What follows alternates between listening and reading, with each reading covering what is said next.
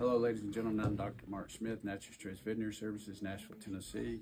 And so I'm going to give you a simple, quick way to help your pet with allergies. So one of the most common signs you will see in a dog when the spring grass changes is they'll start licking their feet.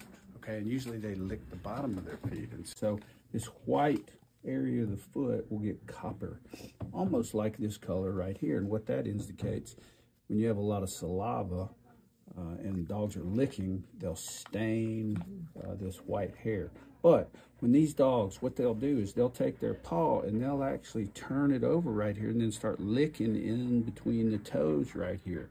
And so a simple, easy thing for you to do, uh, you know, that you have to do pretty much daily is take hydrocortisone. You can buy it at any pharmacy, buy hydrocortisone, put it between the paws two or three times a day, and that will curtail the licking. Now, it may not fix it for the long haul, but it will give your pet uh, some relief as we move through this allergy season. Again, I'm Dr. Marc Smith, Natchez Trace Veterinary Services, Nashville, Tennessee. Give us a call if you have a pet problem, 615 750 2248.